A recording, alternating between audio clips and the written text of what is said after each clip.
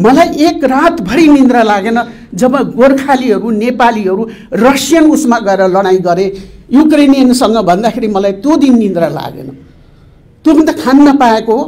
त्यसमा एउटा केटोले के भन्नु थाहा छ? यहाँबाट लडेर बाँचेर यति पैसा लिएर गयो भने त मेरी आमाको आँसु त पुछ्न सक्छु। अहिलेको गभर्मेन्टको मानसिकता मैले कस्तो देखिरहेको छु भने यिनीहरूको खालि कसरी हुन्छ जफ्त गर्ने? नेपालीका छाला काटेर सुकाएर बेच्लान् भन्ने डर भइसक्यो। टिक्नै नसक्ने बस्नै नसकिने केही भयो भने ज्यान मारिदिने उनीहरूले भनेको कुरा पुगेन भने ज्यान मारिदिने। अरे बाफ्रे विदेशबाट त पैसा सैसा आएको छैन। यिनीहरूले भ्रष्टाचारबाट के के केबाट गर्दै रहेछन् भनेको त भुटान भुटानी बनाएर बेचिरहेको रहेछन् भुटानी बनाएर मान्छेलाई बेचिरहेको रहेछ ऊ अब ए एनसिएल भन्यो अनि त्यसपछि के भन्यो? अब त हुँदा हुँदा मैले भनिहालेँ नि यस्तो सानो सानो चाहिँ अलिकति बलियो बलियो कमाएको मान्छेहरूलाई बाट लुटेर पनि खाइरहेको रहेछ जम्मै। अब चिनीबाट लुटिरहेछ आलुबाट प्याजबाट लुटिरहेछ। अनि हामी बोल्नै सक्दैनौँ।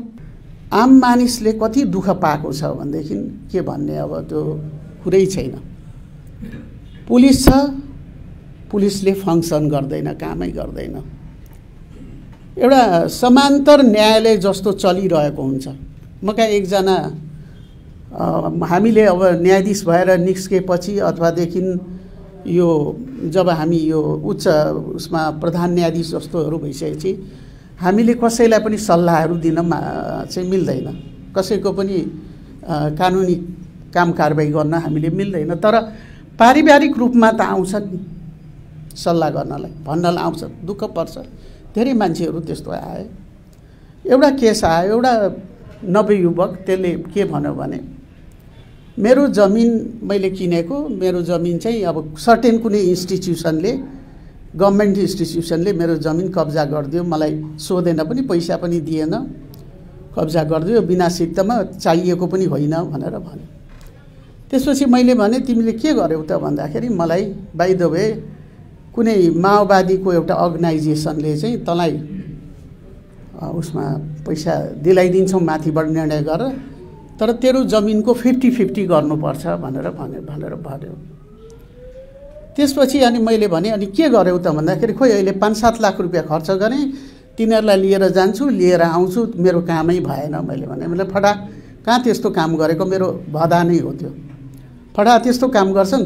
अदालतमा जान मुद्दा हाल। अर्काको सम्पत्ति खोसेर लिन पाइन्छ। अदालतले गर्छ। अलिकति समय लाग्छ। त्यो पो गर्नुपर्छ। कहाँ त्यो माओवादी साओवादीमा कुदेर गएको भनेपछि।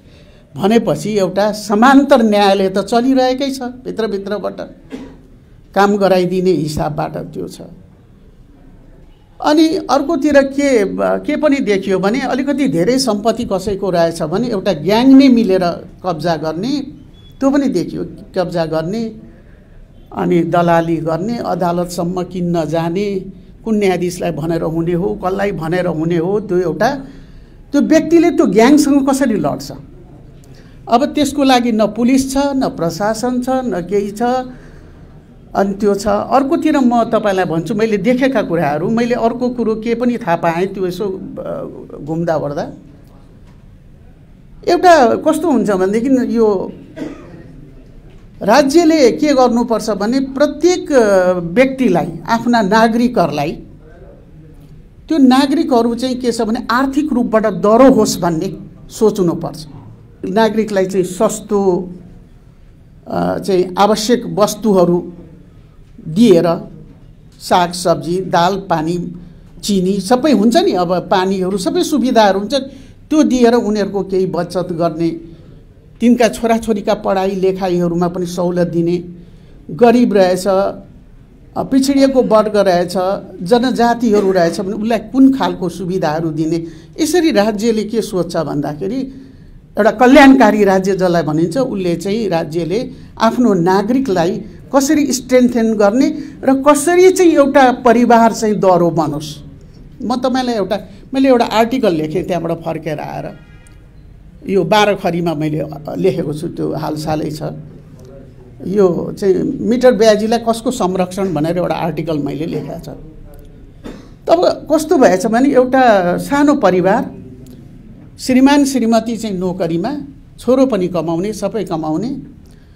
त्यो परिवारलाई कुनै एउटा यस्तो व्यक्तिले चाहिँ फसाएर लुटेको लुटे उसको सबै लुटेको लुटे कमाइ लुटेको लुटे लुटेको लुटे दस बिस लाख। त्यो मिटर ब्याजको त्यसले त लुट्यो। सहकारीले पनि लुट्यो। उता सहकारीमा राखेको पैसा पनि खाइदियो। एउटा सक्षम आर्थिक रूपबाट सक्षम भएको परिवारसँग अलिकति भ्यालुएबल एसेटहरू प्रपर्टीहरू रहेछ पनि। त्यो पनि लुटिने गुन्डा फटा मवाली। ती मवालीहरू फेरि सबै पार्टीका मान्छे छन्। त्यो जान्छ प्रत्येक दिन नेतालाई सलाम गरेर आउने मान्छे छ। तिनकै अब के हुन्? कस्ता मान्छे हुन्? त्यो एउटा भित्रबाट एउटा ताकत र शक्ति भएको व्यक्ति छ जसले त्यो एउटा राम्रो परिवार सोझो परिवार सिधा परिवार एउटा सम्पन्न परिवारलाई को सम्पत्ति कसरी एक्सट्रोसन जुन भनिन्छ नि त्यो कुरा एउटा भएको छ। एउटा राम्रो सानो परिवार हुन्छ नि सुखी परिवार त्यसलाई बर्बाद गरिरहेछ। मैले त त्यस्तो पो देखेँ अहिले त गाउँ समाजभित्र। केही भयो भने ज्यान मारिदिने। उनीहरूले भनेको कुरा पुगेन भने ज्यान मारिदिने एउटा कुरा त्यो भएको छ। अर्को कुरो म के पनि देखिरहेको छु भनेदेखि राज्यले अथवादेखि गाविसले नगरपालिकाहरूले के गरेको देख्छु भनेदेखि ल आठ लाख दस लाख रुपियाँ आयो एउटा यहाँ प्रोजेक्ट हुँदैछ। ल पैसा उठाउनु पऱ्यो दस दस हजार बिस दस हजार उठाएर ल पानीको गर्नु पऱ्यो ल बाटो बनाउनु पऱ्यो ल सडक बनाउनु पऱ्यो मान्छेसँग आम्दानी छैन खाने व्यवस्था छैन सारा सबै स्रोत बेचेर छोराछोरीलाई लगाएर विदेश पठाउनु पाएको छ। त्यहाँ पनि छोरा मरेको हुन्छ बाकसमा आउँछ कि? यहाँ चाहिँ के छ भनेदेखि उसले चाहिँ त्यो उसले जिउँदो आउँछ आउँदैन कमाउन सक्छ कि सक्दैन यहाँभन्दा पहिले आउनुभन्दा पहिले म ब्याङ्कमा गएको थिएँ। एउटा महिला रोएर आएर विदेशमा कहाँ अलपत्र छोरो पऱ्यो त्यसको नाममा यहाँ पैसा छ कसरी मिलाएर पठाउने त्यो चाहिँ खानै नपाउने भयो भनेर एउटा महिला रोइरहेको थियो त्यहाँ त्यो म्यानेजरले खालि स्टुडेन्ट भिसा र स्टुडेन्ट पठाउने कुराको मात्रै मिलाइरहेको थियो अब भन्नुहोस् त अराजक कति अराजक कति अराजक। कसरी टिक्न सक्छ? तपाईँसँग भएको बचेको पैसा विकासको नाउँमा ल सरकारले आठ लाख दिँदैछ तपाईँहरू कति कति हाल्ने? मेरै पैसा मेलम्चीको नाउँमा बिस हजार खाइदियो। अहिलेसम्म धारै छैन। ए मान्छेसँग पैसा त वार वार त आउँदैन नि। भनेपछि अहिलेको गभर्मेन्टको मानसिकता मैले कस्तो देखिरहेको छु भने यिनीहरूको खालि कसरी हुन्छ जफ्त गर्ने? अहिले जोसँग अलिअलि जेठा थियो त्यो पनि यिनीहरूले जफ्त गरिसके। गुन्डा फटा मबाली तिनै नहुन् यिनका कार्यकर्ता। हुन त उनीहरूले चाहेर गुन्डा मबाली लिएको होइन तर यिनीहरूसँग अब को आउने? त्यही त हो। यिनका कार्यकर्ता तलका भनेका एसएलसी पास पनि छैन त्यस्ता कार्यकर्ताहरू जोसँग तपाईँ जानुहोस् करोडौँ करोडौँ सम्म सम्पत्ति लिएर बसेका छन्। हो यिनै एक्सटर्सनका कामहरू गरेर बसेका छन्। यो हालत यो कन्डिसन यो देशको छ। मान्छे हेर्नुहोस् त अहिले एयरपोर्टमा हिजो राति फोटो देखाइरहेको थियो टेलिभिजनले वार वार्ती मान्छे गइरहेछन्। तपाईँलाई यहाँभन्दा के लाग्ला? मलाई एक रातभरि निन्द्रा लागेन जब गोर्खालीहरू नेपालीहरू रसियन उसमा गएर लडाइँ गरे। युक्रेनियनसँग भन्दाखेरि मलाई त्यो दिन निन्द्रा लागेन। त्यो पनि त खान नपाएको हो। त्यसमा एउटा केटोले के भन्नु थाहा छ? यहाँबाट लडेर बाँचेर यति पैसा लिएर गयो भने त मेरी आमाको आँसु त पुछ्न सक्छु। अब यहाँभन्दा के छ? यो सब देखेर सनमै लाग्दैन लाजै लाग्दैन यिनलाई। यी धोती नै फुकालेर हिँड्छन् लुगा नै फुकालेर हामीले के गर्न सक्छौँ यिनका बारेमा? यी रात दिन चाहिँ खालि भ्रष्टाचार। तपाईँहरू भन्नुहुन्छ यो देशको हैसियत बिग्रेको। अघि उहाँहरूले त उहाँले विजयजीले त उहाँले भन्नुभयो। म तपाईँहरूलाई एउटा कुरा बताउँ नेपालीहरू भ्रष्ट थिएन। पटक्कै भ्रष्ट थिएन। हामी नै हौँ। पच्चिस तिस चालिस सालतिर बयालिस सालतिर जाँदाखेरि कसैले दुई पैसा दियो भने कर्मचारीहरू लिन मान्दैनथे। पाप लाग्छ भन्थे। मुठीभरि तपाईँले एक प्रतिशत दुई प्रतिशत नेपाली पनि थिएन। घुस खाने घुस खाने अन्याय गर्ने त राणाका टाइममा पनि थिए। बहुत कम थिए। पञ्चायतका बेला पनि बहुत कम थिए। बहुत मान्छेले जति दुई सय चार सय त्यतिखेर तलब हुन्थ्यो त्यतिमै सीमित भएर बसेका थिए। त्यतिमा खुसी हुन्थे कर्मचारीहरू। तर यो सब अहिले बबन्डर के भयो भन्दाखेरि यी यस्तै किसिमको अराजक यो बढ्दै बढ्दै बढ्दै गयो। अब अहिले त कुरै छैन तपाईँहरू। अलिक दिनपछि मलाई यस्तो लाग्छ नेपालीका छाला काटेर सुकाएर बेच्लान् भन्ने डर भइसक्यो।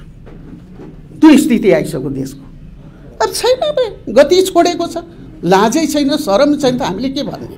इतिहासको पुस्तक हुन्छ नि। त्यसले शीर्ष तिनवटा नेताले दस बिस वर्षभित्र के गरे त्यसैले लेख्छ। त्यो हिस्ट्रीले लेख्छ।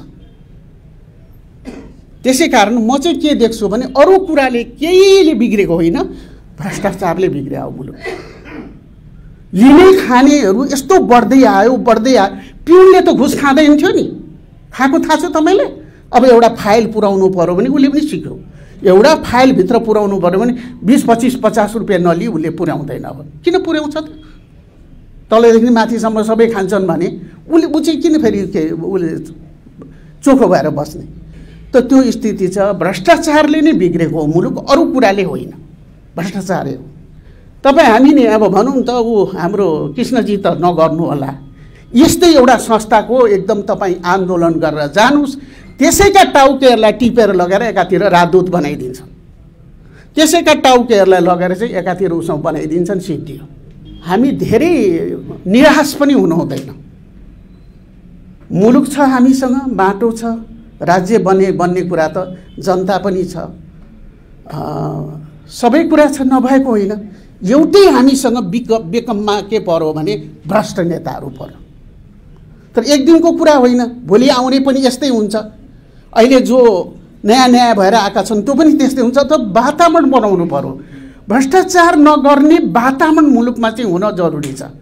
म एक दिन कस्तो भने एकजना व्यापारीजी मेरा श्रीमानको मित्र आउनुभयो र उहाँले कम्मरमा हात लाएर के भन्नुभयो भने यो प्रधान न्यायाधीशको घर हो भनेर तिनचोटि भन किन? मेरो लागि त यही ठुलो छ। यही ठुलो कुरो छ। म त यही नै स्वर्ग देखिरहेको छु भनेको होइन। प्रधान न्यायाधीशका घर त कस्ता कस्ता मैले भने अरू कुनै प्रधान न्यायाधीशका घर मैले हेरेको छैन मेरो घर चाहिँ यही हो भनेर उसलाई पठाएँ अब कन्सेप्ट हाम्रो त्यो छ क्या। मानसिकता हाम्रो त्यो छ। पुग्यो भन्ने चाहिँ कोही छैन। भ्रष्टाचार गर्नलाई अघि नबढ्ने कोही छैन। तर कुरो के हो भनेदेखि मैले मात्रै गर्ने होइन कृष्णजीले मात्रै गर्ने होइन लोकराज बरालले मात्रै गर्ने होइन माधवजीले मात्रै गर्ने होइन सबैले गर्नुपर्ने हो यो। यदि मुलुकलाई मुलुकको स्थायित्व चाहने हो मुलुकमा जनताको चाहिँ एउटा भलो चाहने हो। मैले भनिहालेँ नि तपाईँ हामी त अलिअलि यसो खाँदैछौँ केही गर्दैछौँ। हामीले देखेकै छौँ नि अब तपाईँलाई त्यो उसमा जानुहोस् न कालीमाटीमा जानुहोस्। एक सय नब्बे रुपियाँमा पाँच किलो कोबी त्यहाँ दिन्छ बाहिर किन पचासी रुपियाँमा एक किलो हुन्छ? त्यो हेर्नुहोस् न। आलु नै हराउँछ प्याज नै हराउँछ किन हिँड्छ यो आलुको एउटा ठेकदार होला। यिनै नेताका कोही माथि ठेका भित्री आन्तरिक रूपबाट ठेका लिने त यिनै नेताकै छोरा चेली बुहारी कोही होला? होइन? चिनीको एउटा होला।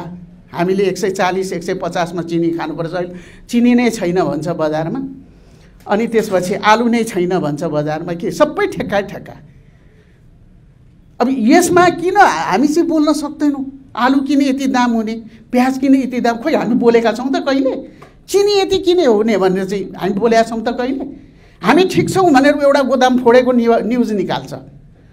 तर गोदाममा चिनी राख्ने त यिनकै मान्छे हुन् नि। भन्न पो हुँदैन। यिन यिनकै मान्छे हुन्। कसको कसको हिम्मत हुन्छ? पुलिस प्रशासन सबै माथिदेखि तलसम्म नमिलिकन चाहिँ भ्रष्टाचार हुनसक्छ चाहिँ त्यत्रो ठुलो ठुलो काण्ड हुनसक्छ त्यसै कारण चाहिँ धेरै खतम छ। मैले भनिहालेँ मतलब पैसा क्या आम मान्छेको पब्लिकको पैसा। ध मतलब कोही पनि छ नि एउटा अलिकति यसो हुने कारण सबका पैसा खोसिन्छ अनेक नाममा खोसिएको छ चाहे विकासको नाउँमा बाटो बनाउने पैसा देऊ धारा राख्ने पैसा देऊ। अनि अब यसरी चिनी सिनी आलुहरूबाट लुटिरहेछ। अनि अलिकति जग्गा धनी रहेछ भने बलियो रहेछ भने त्यसबाट लुटिएको छ सब लुटिएको। पब्लिकबाट अनि म यसो कहिलेकाहीँ सानो थप कुरा है। सानोमा मलाई कहिलेकाहीँ लाग्थ्यो अरे बाफ्रे विदेशबाट त पैसा सैसा आएको छैन। यिनीहरूले भ्रष्टाचारबाट के के केबाट गर्दै रहेछन् भनेको त भुटानी भुटानी बनाएर मान्छेलाई बेचिरहेको रहेछ। ऊ अब एनसिएल भन्यो। अब चिनीबाट लुटिरहेछ आलुबाट प्याजबाट लुटिरहेछ। अनि हामी बोल्नै सक्दैनौँ। प्याज किन यत्रो महँगो गरिस् भने हामी बोल्नै सक्दैनौँ। चिनी महँगो गरिस् यसैमा पनि त बोल्न सकिन्छ। चिनी किन महँगो? विराटनगरमा जोगमनीमा पचास रुपियाँ किलो छ पारिपट्टि इन्डियामा। अनि विराटनगरमा चाहिँ त्रियासी रुपियाँ थियो। त्यो किन भयो हामी बोल्नै सक्दैनौँ।